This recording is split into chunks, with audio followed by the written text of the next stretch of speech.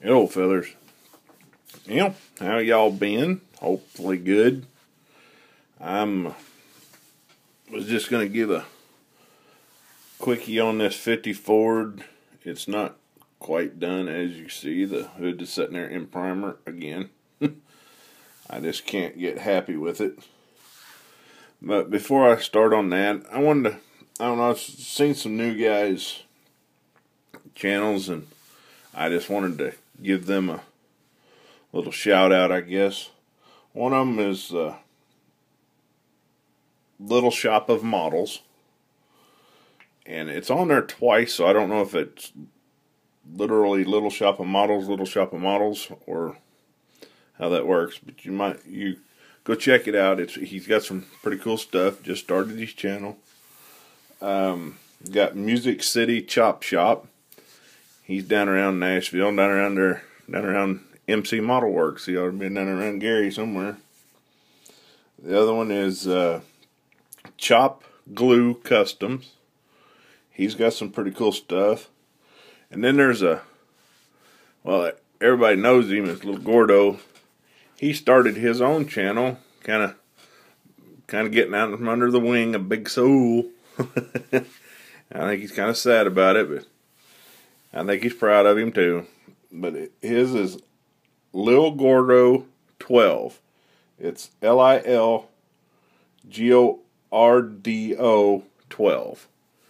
Y'all go check him out and support that little feller. He's, I say little feller, he's not a little feller, he's a young man. And he does really good stuff. He's wanting to kind of move on to his, move on his own. But I think that's all I got as far as shout outs. I just kind of wanted to throw them. I haven't heard anybody mention them guys. And they needed, I would like for you guys go check them out. Now, about the 50. I uh, got the motor all in it, and I just wired it. That's about all I did. Did a little detail painting on the firewall. And I'm I'm really happy with the motor. I'm really happy with the paint. The paint come out really good on it.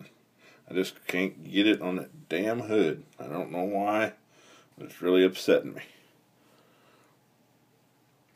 And I put those that red in the headlights, and now I wished I hadn't have. But oh well, too late.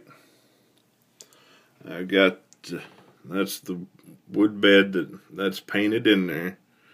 And I've had a couple guys ask me to do something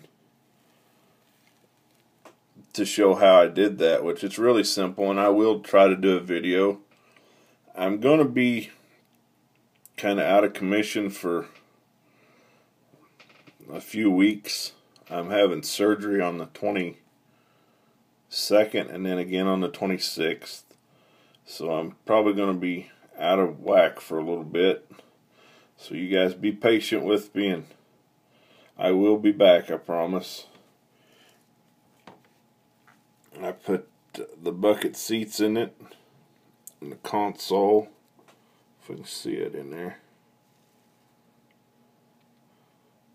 It come out really good. I really like that interior. Looks good in that truck, but but yeah, I'll, I'll do a like I said, I'll do a tutorial I guess, on these. Kind of a tutorial, just a how-to. It's very, very simple